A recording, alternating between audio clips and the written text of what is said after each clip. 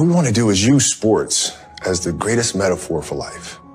And if we feel, we feel like if we can teach kids how to deal with anxiety, how to deal with pressure, how to deal with failure, how to deal with success through sport, then in turn it helps them to become better people, right? So like if you're struggling with something, if your kid's struggling with a bully at school or struggling with taking tests because the pressure is just too much, how do you practice that? Like as a, as a, as a father, you, you, can go to your, your daughter and your son and say, okay, you know, work your hardest. Um, don't worry about the end result. But those are just words, aren't they? Mm-hmm. Right? They have to physically put themselves, emotionally put themselves in that same situation over and over to really be able to understand how to deal with it. And what we're saying is that sports does that for you. So now through sport, when you practice every day and you're playing these games and you have these emotional challenges, you get used to figuring out how to navigate yourself through, which in turn helps you to become a better t- test taker and vice versa. I think the goal is always to win championships. No matter where you go, that's the goal. And that's his goal. That's Rob's goal. That's Magic's goal. That's Jeanie's goal. Rondo, all the guys, Kuzma, Lonzo, they all want to win championships, man. So that's what they're gunning for well, you don't need to win a champion. Well, you're asking me, you have to win championships. This is why we play. This is why we're here is to mm-hmm. win championships. And, you know, he wouldn't have came here if he, if he didn't expect to win championships.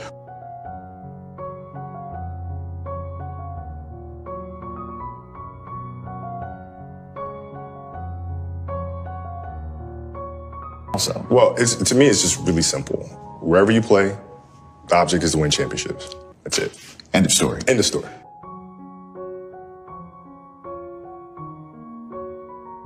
Never. Here's the thing: is for us athletes, it's really hard to transition from that, right? And I was really personal about it when I wrote Dear Basketball.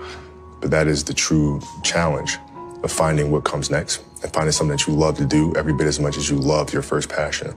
That is the challenge for us. And I think, unfortunately for us athletes, we've been pigeonholed into thinking that we can only be one thing. And so when I retired, everybody is saying, okay, he's too competitive. He's not going to know what to do with himself. He's going to have to come back. I took that as a personal challenge of them thinking I'm this one dimensional person. That all I know is how to dribble a ball, shoot the ball, and play basketball and compete at that level. And so I took that as a personal challenge. I will never come back to the game, ever.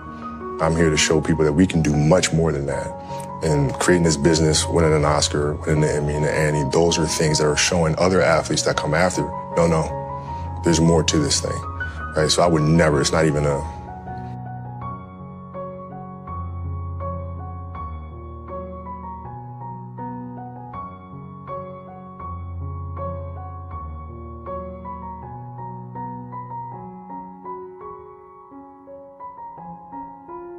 You know, the, the challenge, the challenge became how do I take the lessons that I learned through the game of basketball and translate them into building the studio, right? What are the things that I can take from that? The discipline, um, the commitment, uh, the team and community. How do you get the best out of each other? How do I take those lessons and move those here?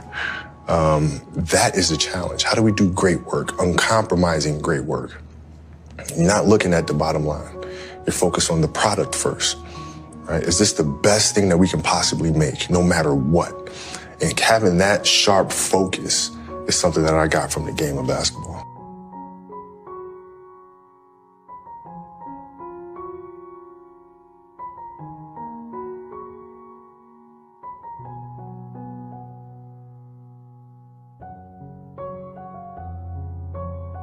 You know, I'll sit and I'll think and I'll create. You know, I, I write them all out um, and uh, create the characters, create the rules, the structure. Um, and, and then you kind of got to go with your gut. You got to go with your gut and see are we creating something that's been done before? Or is this a project something that nobody's seen before? Mm-hmm. And uh, is it a project that we're not sure that we can do? And if the answer is yes, then nine times out of 10, we're going for that one, right? Because that means we're pushing boundaries a little bit.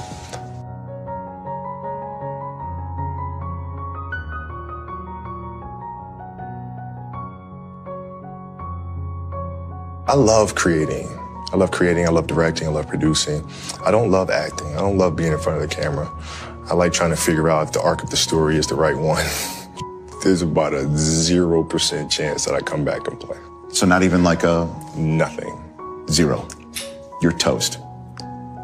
you're finished. Done. As a player. That's it. Did last year at any point with you going through your first season not Yeah. playing basketball? Never. Not once did you think about it? I was miserable in my Just life. like you. I didn't like waking up. I ain't have no purpose. I ain't know what I was supposed to be doing. On October 8th, 1985, I walked in a comedy club for the first time. Signed up for the following week. The following week, a girl took me down there. She said, You got to go to comedy club. You're the funniest person I've ever met. I never even heard of comedy clubs. I'm 27. I walked in the comedy club. I signed up for the following week. I'm gonna sit here and learn. I knew I was funny. I just didn't know what to do with it. They had 10 acts go up. Nine of them went up. I didn't laugh at one joke. I was just sitting there, just, man, I wish that was me. Man, they should have said this. Every joke they told, I knew the punchline before they said it, and I wrote a better punchline in my mind what they should have said. It got to guy number 10, they called his name, he wasn't there. They said, well, he's not here, we're gonna go to next week's list. Steve Harvey, where are you? Long story short, I won amateur night that night. I won $50. It was meant to be. It was a 45 minute drive to my house with this girl named Gladys. I cried 45 minutes. She said, What you crying for? It ain't but $50. I said, No, no, you don't even understand. I, I was born tonight. I now know what I'm supposed to do. I went to work the next day, October 9th, and quit my job. With $50, I had nothing. I just never gave up. I'm gonna tell you something. That decision cost me everything I had. Everything. I lost everything. I lost my family. I lost friends. I lost everything. I became homeless. I lived in a car for three years. But I just saw this, I saw this, I saw this vision. I just pursued it. I said, wow, that's it. You have to take chances in life.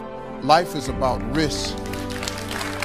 If you play it safe in life, you ain't gonna have much of a life. If you play it safe, you won't have much of a life. Life is risk. It takes it take courage to pursue your dream. Now it's gonna cost you something.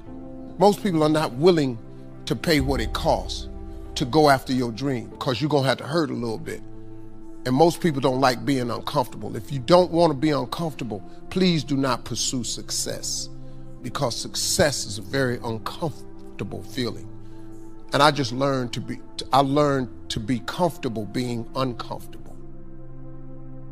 Life is hard. See, for every time you have a plan, a dream, an aspiration, or a goal, do you know what happens every time you have one of those? This thing comes along called life.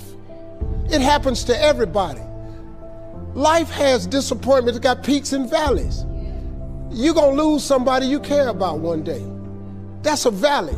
Somebody gonna close the plant you thought was gonna stay open so you could retire. That's a valley. Somebody gonna fire you for an unjust cause. That's a valley. The people that got your credit card gonna sell their company, gonna sell their business to another credit card company. Your 18% go up to 26%. You don't even know why now your minimum didn't change. Cause you had cause it's life. You can stop thinking that life fitting to be easy, cause I got news for you, it ain't.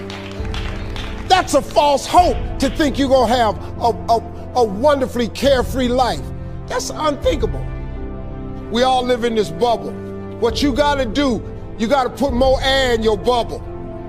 You got to blow your bubble up. Expand yourself. Take yourself out your comfort zone. Do not live in your bubble. Put some more air in your bubble. If you stay in your comfort zone, that's where you will fail.